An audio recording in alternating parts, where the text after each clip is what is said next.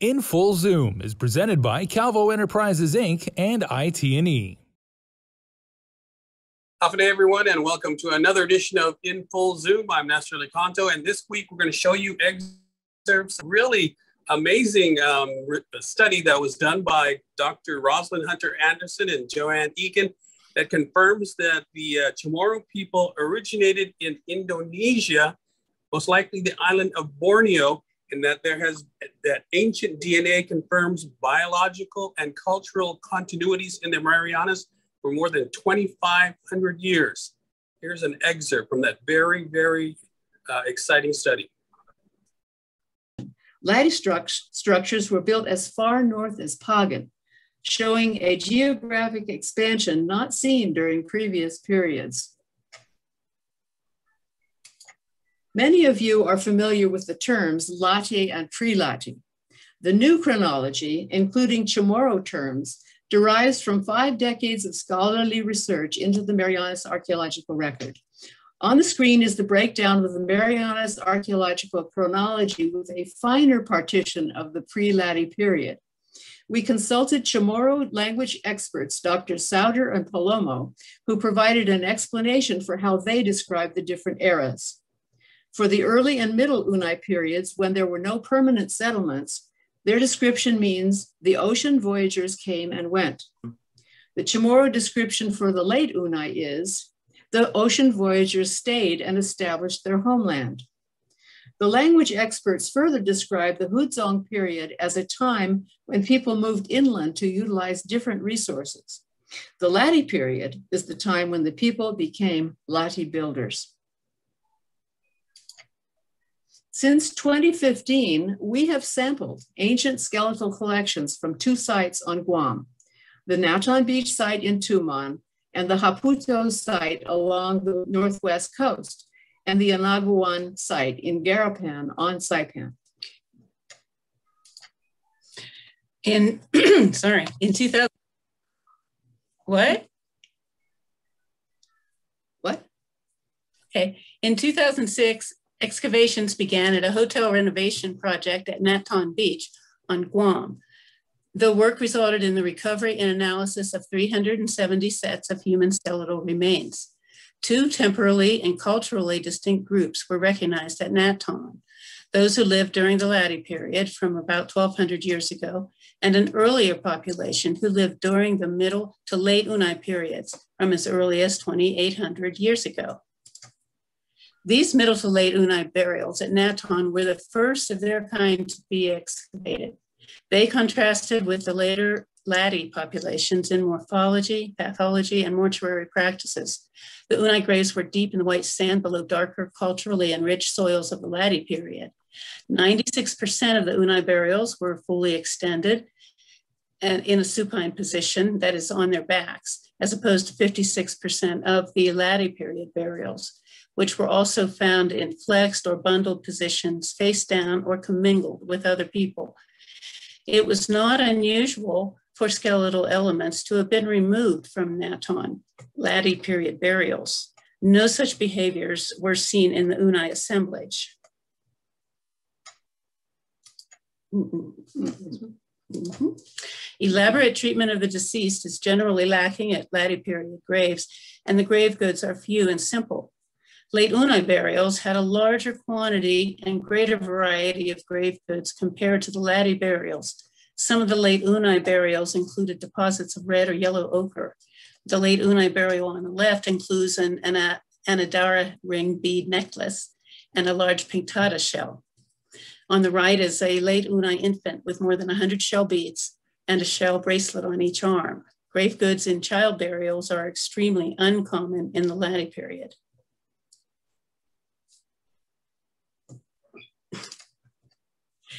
There were differences in size and dimensions of cranial bones, postcranial bones, and dentition at Naton.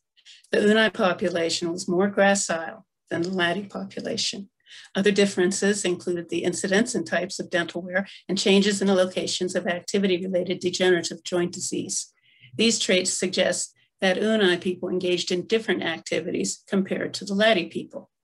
Diseases differed between the two populations. In particular, treponema infection, YAWS, was not identified in the late Unai population at all, but was common during the Latte period. Betel nut staining in adults was common during the Latte period. Here's an example on the right. Betel nut staining was essentially absent during late Unai, as you see on the left. The Unai were the first people to create permanent settlements and bury their dead in the Marianas. Despite their physical and cultural differences, were the late Unai ancestors of the Latte people? Were they related to modern day Chamorros?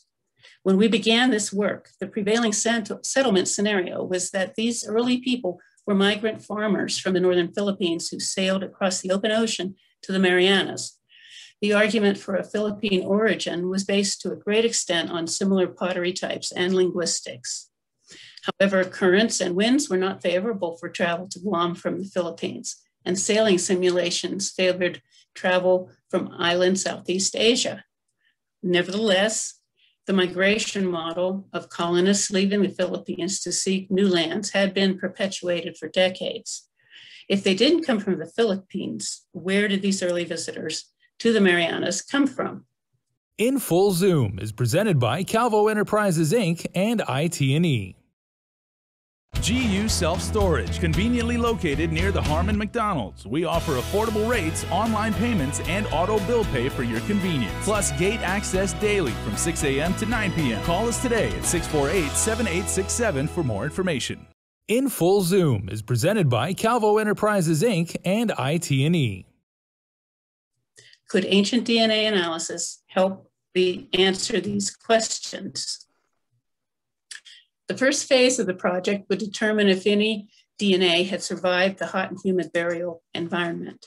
For a feasibility study in 2015, we sampled dentition because at that time, long bones and teeth were thought to be the best skeletal elements for DNA recovery because of their strength and density. We submitted dentitions to colleagues at the University of Huddersfield in England, and they detected highly deteriorated DNA in some of the teeth, but the results were disappointing. Ancient DNA can be extremely fragmentary and seriously degraded under adverse burial conditions. The Naton skeletons were fragile after millennia of burial in warm, wet environment, and the DNA preservation was poor. While our first attempts to recover DNA were not successful, by 2018, the technology had advanced significantly. We tried again, this time using the petrous portion of the temporal bone, the petrous is a bone near the base of the skull, which houses the middle and inner ear. The cochlea in the inner ear is the hardest bone in the body, and it remains strong and dense even under harsh, wet burial conditions. Uh, Dr. Ron Pinhasi, uh, now at the University of Vienna, determined that the cochlea is a reliable DNA source, and he developed a technique that allows for the recovery of DNA from fragile samples, such as those found at Naton. Our new research partners were Dr. Pinhasi and Dr. David Reich and Yue-Chen Liu at Harvard Medical School. And Dr. Olivia Cheronet from the Pinhasi lab assisted us in selecting samples at the Guam Museum. At the Pinhasi lab in Vienna, the small portion of the cochlea was powdered and brought into a specialized clean lab where potential contamination was carefully controlled for. The cochlea powder was chemically processed to purify the sample. The samples were then sent to the Reich lab where the DNA fragments were decoded and transformed into sequence data. Samples that yielded analyzable DNA were also radiocarbon dated, so we have solid dates and confirmation on our assumptions of age. Uh, we now had late Unai DNA data from Naton, but we still needed to study ancient DNA from the Latte period to determine if there was biological continuity between the two populations. So in 2020, we collected petrous samples from the Naton uh, Latte skeletal collection. And with additional support from the Reich Lab, we also collected Latte period samples from the Anaguan site on Saipan. Now, the Anaguan site in Garapan was first excavated in the 1990s and again in 2015, just prior to the construction of Best Sunshine's Imperial Pacific Casino. The excavations revealed a clear pattern of Latte period occupation across much of the Imperial Pacific project area. Radiocarbon dating showed a continuous occupation of this coastal zone from the 11th century AD through the historic era, with Latte period occupation being the most robust in the 13th through the 16th centuries. Uh, Haputo is on military owned land in the northwest coast of Guam. It is protected by the US Navy as the Haputo Ecological Reserve. Some archaeologists believe Haputo was occupied as early as 2,000 years ago. Ceramics from the area date in the range of 100 to 400 AD. Several latte structures were investigated during a joint US Japanese research project in the early 2000s, and burials were recovered from the floor of one of the structures. Very limited analysis has been done of the remains, but we were able to include several teeth for the DNA project. In all, we and others collected ancient DNA samples from Guam, Saipan, and Pohnpei, and we compared them with modern DNA samples from Guam, Palau, Chuuk, and Pohnpei. Most of the prehistoric samples came from Guam and Saipan. In Full Zoom is presented by Calvo Enterprises Inc. and IT&E. GU Self Storage, conveniently located near the Harmon McDonald's. We offer affordable rates, online payments, and auto bill pay for your convenience. Plus, gate access daily from 6 a.m. to 9 p.m. Call us today at 648 7867 for more information. In Full Zoom is presented by Calvo Enterprises Inc. and IT&E. The results. The indigenous people of the Marianas Islands derived all their pre-colonial ancestry from East Asian sources, specifically island Southeast Asia, as indicated by female inherited mtDNA haplogroups E2A and E1A. Previous study of the Anaguan remains by Dega et al. in 2017 reached the same conclusion. These variants of the E lineage formed 5,000 to 10,000 years ago in eastern Indonesia, likely in Sulawesi. These variants are present in all ancient individuals from Guam and Saipan and are absent from ancient individuals from Polynesian sites who derive from Melanesian sources. These findings contradict Chamorro origin models based on historical linguistics and similarities in pottery, which assert the Marianas indigenous people derive their ancestry from farmers in the northern Philippines. More than 90% of the late Unai maternally inherited DNA, E2, belongs to the most common lineage that is present in the modern Chamorro. The E2 lineage originated during the Holocene between 5,000 and 10,000 years ago in eastern Indonesia, most likely Sulawesi. The marked homogeneity in late Unai Y DNA implies that all Naton Unai males came from the same geographic region. By the Latte period, all the islands of Micronesia, including the raised coral islands and atolls of the Central Carolines, as well as the Marshalls and Kiribati, had been occupied by seagoing peoples, and our study detected more DNA lineages among the Latte individuals. These new Latte period lineages reflect ties with Melanesia and Eastern Indonesia. A maternally inherited lineage common in ancient Polynesians, B4A1A1, also appears in some Latte individuals. The increased genetic variation at that time appeared to relate to migratory streams within and into Micronesia. The Unai burials at Naton were confirmed to be the earliest known burials in the Marianas. Radiocarbon dates for the Unai burials range from 2800 to 2200 years ago. Extreme homogeneity in ancient Marianas mtDNA, shown by the dominance of two variants of the E haplogroup, implies matrilocal residence after marriage, was practiced throughout the prehistory in the Marianas. In matrilocal societies, the new husband joins the wife's family. Whole genome analysis. Whole genome analysis yields accurate estimates of family relationships up to third degree relatives. At Naton on Guam, analysis of 28 late Unai individuals identified four families, each with two members, including one pair with a first degree relationship and three pairs with second or third degree relationships. Among 75 Naton Latte individuals, whole genome analysis, genome analysis identified seven families with between two and 30 family members in each. We found three pairs of individuals with mother-daughter relationships, three individuals who had a father-son relationship. Four pairs were siblings, and three pairs had unspecified first degree relationships. In addition, 82 pairs of Latte individuals had a second or third degree relationship, grandparents, uncles, aunts, cousins. Each burial's location had been plotted during excavation, and the whole genome analysis showed that closely related individuals were often buried next to each other or nearby in genetically defined family groups. Here are the plots of seven Latte families with their relationships. Family B had the most members interred at Naton and may have been one of the oldest families at the site. Precise information about burial location was absent from Haputo.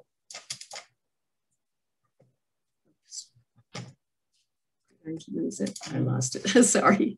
Uh, precise information about burial location is absent from Haputo, but among the four individuals studied, we found one family with three members. One pair of individuals had a first degree relationship, and another pair had a second or third degree relationship. All were buried in one house at the site.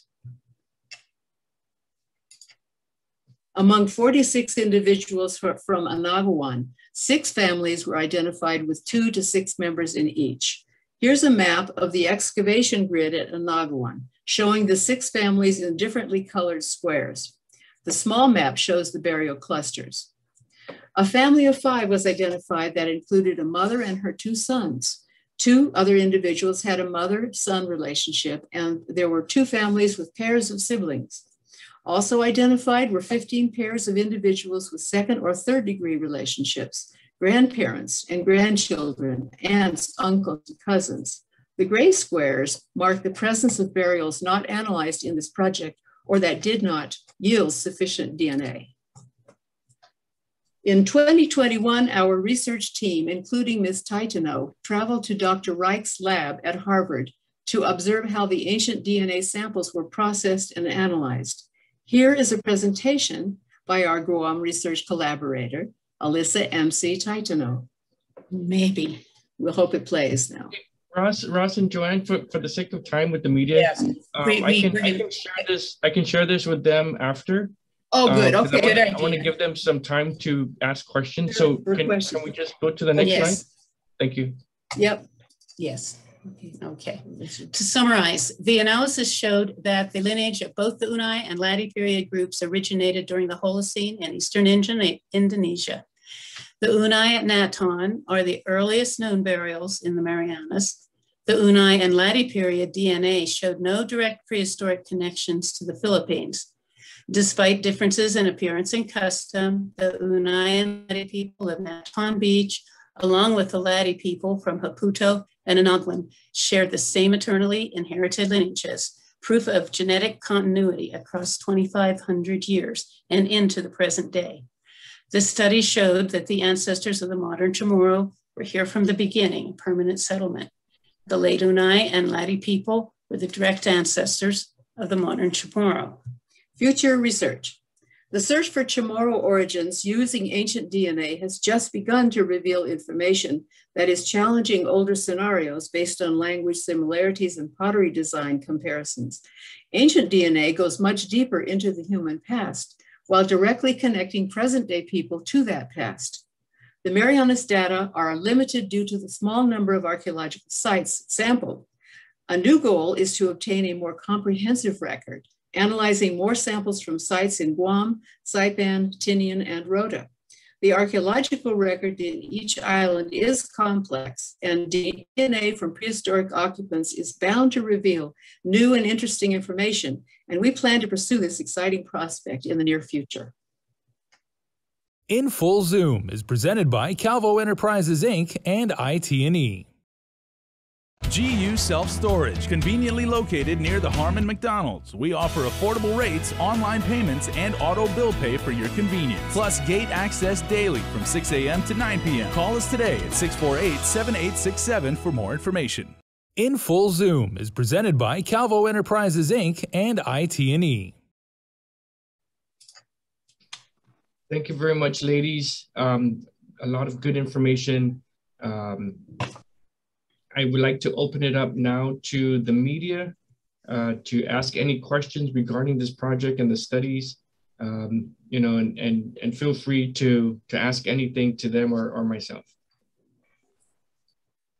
Hey, Pat, Nestor, I got, I got fascinating stuff. I've, I've got questions. Go ahead, Nestor. Hello?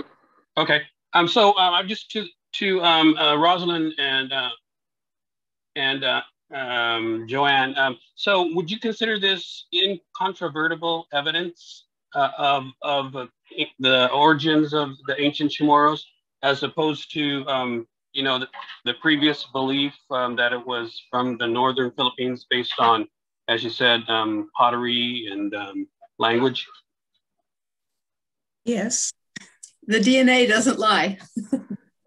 okay. All right, just want to get that on the record. So, um, have you done some cross-referencing with uh, uh, locations in Indonesia to confirm um, what the DNA shows? That that uh, there's some uh, modern DNA from Indonesia that is part of the, this larger study that we're part of, the the um, Micronesia wide study, but we haven't ourselves done any of that. But yeah, there's no ancient DNA that we know of uh, from Indonesia yet. That's a big gap. We, we need that. Okay. And, and if I could, just one more uh, before I pass it on to the colleagues here. Um, any theory as to why they left to come to the Marianas and eventually settle? Well, if you think of these people not as settlers or you know explorers, think of them as uh, marine foragers who had seasonal, annual, or every few years uh, moved around to different islands for uh, to collect resources and to trade. Just think think of them as as just moving about uh, the Southeast Island Pacific area. Yeah, but sea levels were going down too. Um, I, I, think all of these island people in Southeast Asia knew about the Marianas, knew about the Western uh, Micronesian islands, but sea level was so high there was no place to land canoes even. It, it, a lot of these high islands had mangroves around them, so not very uh, hospitable to marine foragers who want to work with the reefs. So one theory that's being developed and has been being developed for a while is that the reason that they came so far to the Marianas is because um, they needed to expand their range as competition for resources was heightening in island Southeast Asia. And it has to do with dynamics. When the sea level goes down, you have more land, more island space, but then you have more competition. And we had some in that island Southeast Asia area also agriculturalists. So it was a complex um, area from which these people came. But uh, we, it, archaeologically, it doesn't look like they really settled down until the sea level had had declined enough to make some little beaches for them to land, but it also uh, made it time to get the, the, the heck out of Dodge and, and actually stay in the Marianas with, with help, you know, with uh, relationships uh, with their parent populations. Thank you. Thank you. Fascinating stuff. That's in full Zoom for this week, everyone. Thank you for joining us for this uh, fascinating uh, study. That was uh, Dr. Rosalind Hunter Anderson and Joanne Eakin. And our thanks also go out to Patrick Lujan, the State Historic Preservation Officer for uh, coordinating uh, the event. I'm Nestor Licanto. We'll see you again next week for In Full Zoom. In Full Zoom is presented by Calvo Enterprises Inc. and IT&E.